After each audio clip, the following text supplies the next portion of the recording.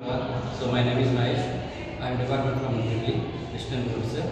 So now I am discussing about the topic single phase full wave half wave control rectifier. Okay, topic is single phase.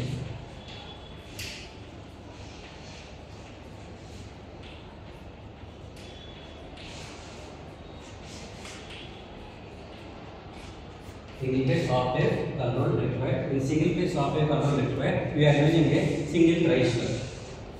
That means SCR with a R load.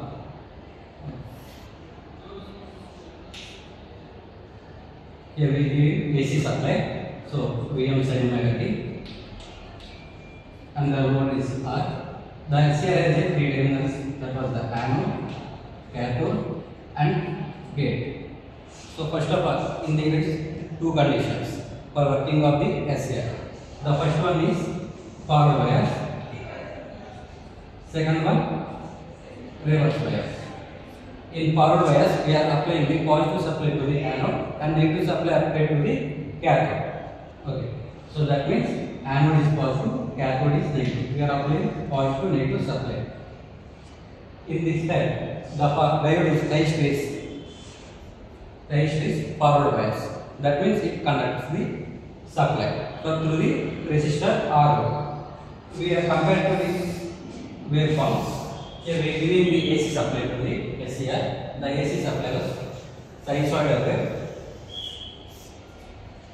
omega t to 0 pi 2 pi 3.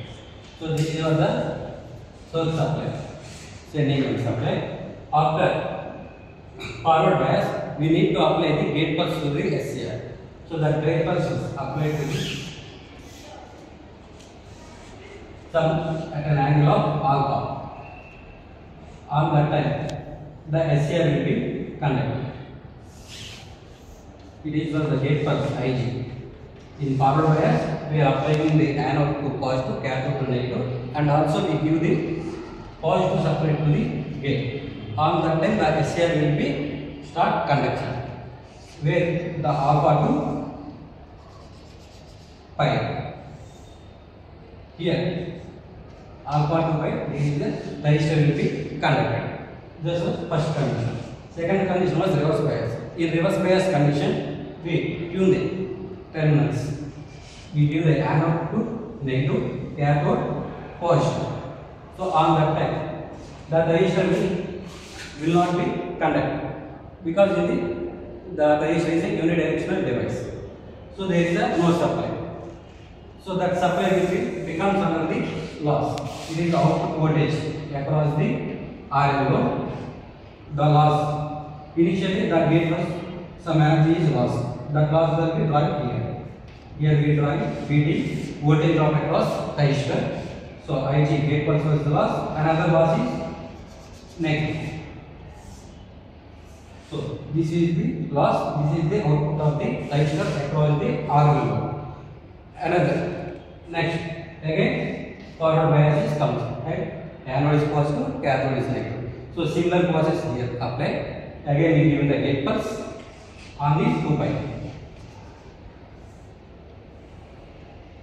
So the again the resistor conduct one alpha to 3 pi. So the loss will be drawn here. Again in reverse bias the resistor is off state.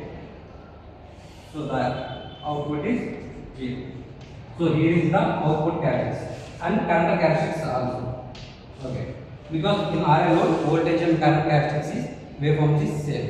With uh, with RL load there is a some uh, some changes occur in the current.